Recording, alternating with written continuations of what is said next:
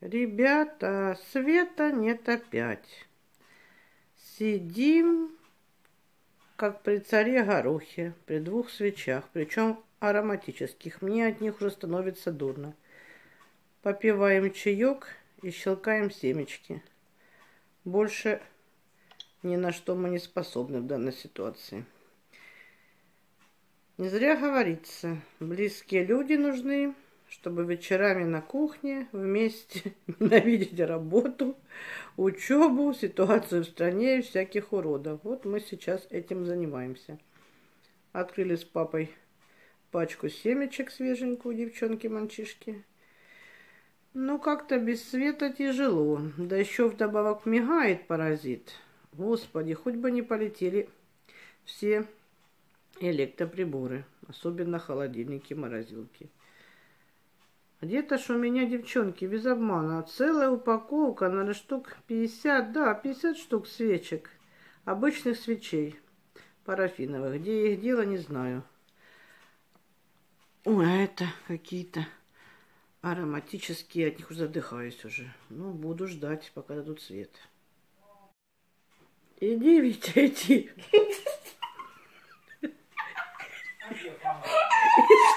Свечка потухла. Я как дыхнула. Вот, в эпоху коронавируса, ребята, как мы живем. И глаза даже не блестят. Ничего не видно. Сейчас возьму вторую. М-м-м. Я еще в патче, девчонки, я ж крутая. Анфиса. О, глаза блестят. Смех смехом. А куда деваться? Терпи косой, у стены не стой. Вот, девчонки, это вообще кошмар.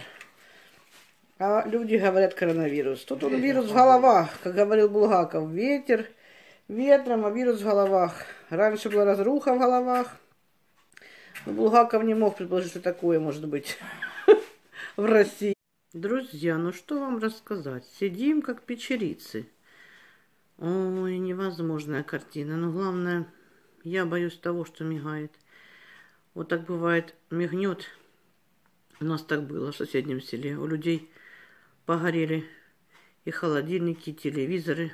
И никто ничего не кукарекал, не возместил. У кого такое бывает, друзья мои, пишите. В городах, наверное, вряд ли, а в селах никто никому не нужен. Вот сегодня с 11 утра до самой ночи возились, что-то там делали, делали, сделали. Я хоть успела постирать. Включили на два часа, а помыться еще успели. Все, дальше даже телефон.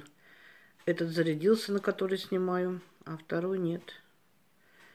Не знаю, кто виноват и что делать. Чернышевский, ответь. Вопрос не решен до сих пор. Ой, ребята, ребята. Мы в шоколаде. Надолго ли? Ну, и телевизор тут же. Главное, вести, что надо посмотреть. Дай мне пульт. Решили раз вести посмотреть, а в итоге министр просвещения, что там выступает, а Таня прослушала. Ладно, друзья мои, приятели, будем слушать великих людей не от мира сего. Ну, хоть дали свет, слава Богу. Всем пока. Заходите к нам на свечку, не на огонек. Пока-пока.